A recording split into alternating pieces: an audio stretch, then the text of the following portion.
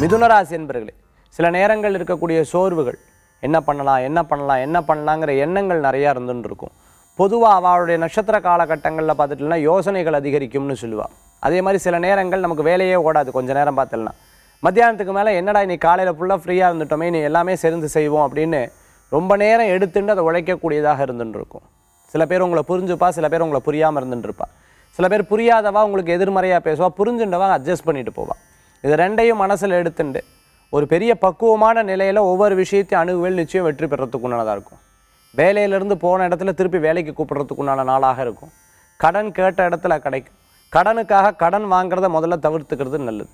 மிதுனராசி என்பர்களுக்கு என்பவர்களுக்கு இன்றைய தினத்தில் அதிர்ஷ்டம் தரக்கூடிய அற்புதமான என் ஆறு நிறம் வெண்மை. வழிபாட்டுக்குண்டான தெய்வம் ஸ்ரீரங்கநாதர் வழிபாடு. செல்வத்தை அதிகரிக்கும் அற்புத வழிபாடு.